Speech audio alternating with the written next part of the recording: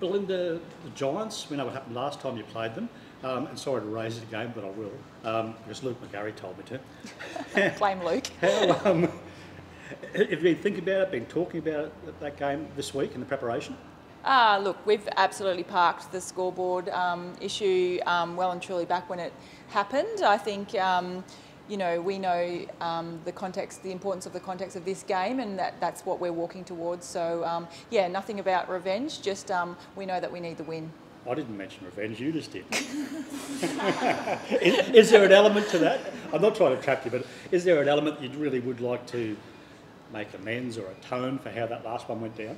Oh, look, it still cuts deep that game. Obviously, we were disappointed the way that played out. Um, but yeah, like um, we know that we have to be at our best to beat uh, Giants, and that is exactly where we're walking towards that contest. And while we're on controversial stuff, have you been back to that held ball at the end of the last game, and was it under three seconds or, or over in your review? Oh, look, it was under three seconds, and um, yeah, again, we um, have spoken about it in our review, and not just the call, but um, just getting the game on our terms earlier in matches, so you know those types of things um, don't impact the result of the game. And that's fair enough. But have you contacted anybody about it to lodge a complaint or talk about it or raise it? Because you're getting a few raw deals this year.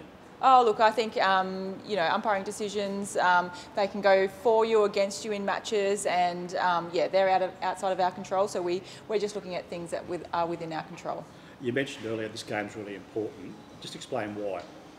Oh, look, in the whole context of the season, we know that we're sitting equal fourth with the Mavs, and there's teams just one game below us in that um, scenario as well. And um, look, uh, I think we've been in that predicament nearly um, most games lately, so we're used to the pressure. And um, yeah, like I said, we've done our review on the, the past um, ga game against the Vixens and looking to make sure that we hit the contest hard this, uh, this week. Is, is that the main thing to come out of that? To because you started pretty well against the Vixens. It was just at the start of each, some of those second and third quarters or fourth quarter that you were a bit slow perhaps. Yeah, look, we've taken confidence in um, that we've won three out of the last five games. Um, I think the losses there are to um, the Fever um, and to the Vixens by small margins, so definitely attacking the contest early. And this could potentially be your last home game, depending if you make the finals or what position you finish in. Um, you'd be after a, a big effort here at home yeah, look, we um, love playing in um, front of our fans here at um, UniSC Arena, and we're looking to go out um, in style and really celebrate the season with them. Um, and then we've got yeah the last three games on the road, so the importance of this win, um, we know how important that is. Courtney Bruce is here today. Uh, does that mean she's starting? Courtney would love me to say yes, she's starting.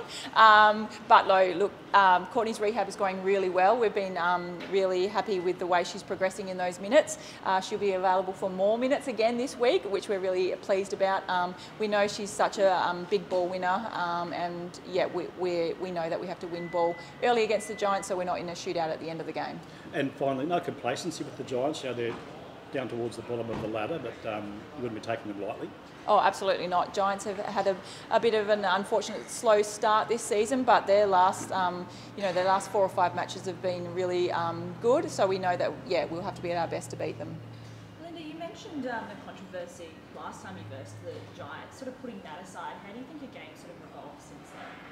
Yeah, look, I think um, obviously um, when we played the Giants the last time, we were without Courtney, um, Mahalia and Ava, so we were missing quite a, a chunk of our defence line. So we take confidence that we've got all of those players back available for this match. Um, but I also think we've um, learned along the way about attacking the contest earlier and being a little bit more brave in our game plan. Also, just on that held ball from um, the last game, I know you said before that you didn't think it was right call, but do you think it sort of changed the trajectory of the game at all and who ended up winning? Oh, look, I think it was in the last minute. So, um, you know, uh, we thought we put ourselves in a winning position and we have been putting ourselves in winning positions. So, again, back to um, looking what happens earlier in the match to make sure that we're not in that predicament again this week. Just quickly, can I grab a comment off you in regards to, um, I know Watson recently received an important award. Sorry, I missed that. On the Donate award? Oh yeah, absolutely. So we had the Donate Life round, um, which um, was fantastic for us to um, raise awareness around organ and tissue donation. And I was to award a most courageous um, player at the end of that match. And I think the way that Liz Watson plays every game is so courageous. She puts her body on the line. Um, and she's just such um, a kind spirit as well, which is, is, is that of the organ donors as well. So she's got a good heart, but a fierce, fierce um, athletic mind, and I think um, she was well deserving of that award that match. Um, Courtney, last home game of the season. Where's the season gone? It's, it's, it's gone in a blink. I know it's flown by. This is why we need more rounds during the during the regular season. That would be great. But um, yeah, excited to, to play here and have a have a big crowd for our last home game. How have you found the season? You've had some injury, which wouldn't have been great for you over the last few weeks. But how's, how's your first season at the Lightning been? Yeah, it's been incredible. I've really enjoyed my time here so far um, and really loved building a combo with Ashlee and Tara and just getting to know all the girls. Um, and yeah, very, very happy here on the sunny coast, so that's all that matters. You must have been doing something pretty good with Ash in the Diamonds team since you've been here. Um, you put that down to a bit of mentoring that you've done? Oh no, Ash has been just playing great netball. I've just been here to help her in any way that I can. But um, she's going to be an incredible netballer for years to come. I'm very excited to see her in the in the Diamond squad and hopefully in the Diamonds dress this year. We heard from Belinda what her thoughts were for you for this game. What, what's your, in your mind? How much can you play? How much would you like to play? Oh, she can run me a full game in centre. I'll be, I'll be sweet. So, no, um, you know, still up to the medical team to um, work out how many minutes I will be able to get out there for. But yeah, available for both Goldie and goalkeeper, and wherever B wants to put me. And the Giants, what do you make of them? Some experience in Jo Harten. Yeah, always a good battle coming up against Joe. We've, we've had many over our time, but um, yeah, obviously they've got two shooting th- or three shooting threats that can nail those two pointers. Um, so that's going to be a, a, great defensive battle for us. But yeah, excited to come up against them. And is, in your mind, is, is there any thought of atonement after what happened in that last game, or revenge, or whatever it might be? Oh, honestly, we just want to go out there and keep pushing our position in the top four. So, um, Giants one of those teams that we have to, to get over to get there. So, um, regardless of what happened last round, we're just here to win and stay in the top four. Yeah, because the Mavericks are sort of nipping at your heels, level on percentages. Mm-hmm. Oh, sorry, level on points. So important that you keep winning with only what four games left. Yeah, exactly. And we know this run home to finals is really important. So if we can get a win over the the Giants and then the Mavs next week, that puts us in a good place for finals you know, does it feel to be back? I mean, you've only played a couple sort of minutes um, so far, but how are you feeling?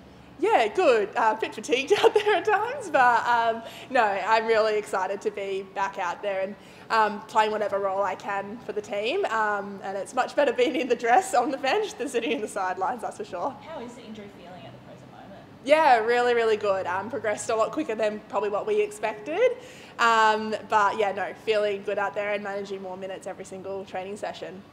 I've got one more.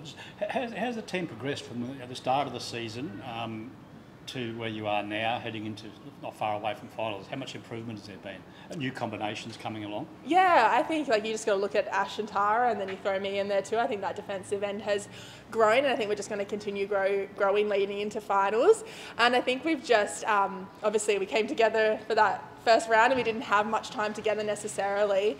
Um, but everyone spoke about our list. But I think the way that we've built through to now um, has been great. And I think, yeah, honestly, just going to keep building come come those final series.